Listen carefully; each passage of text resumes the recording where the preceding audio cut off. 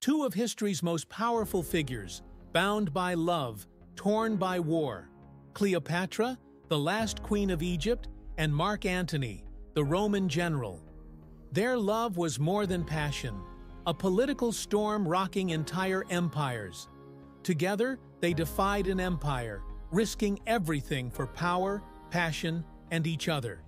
Together, they fought against Octavian, the future Augustus Caesar, in a bid for ultimate power. Their love threatened to divide Rome itself. It sparked civil war, pitted Rome against Rome, and brought down a dynasty. Their final act? A battle for survival at the legendary Battle of Actium. Defeated, they chose to die together rather than face capture.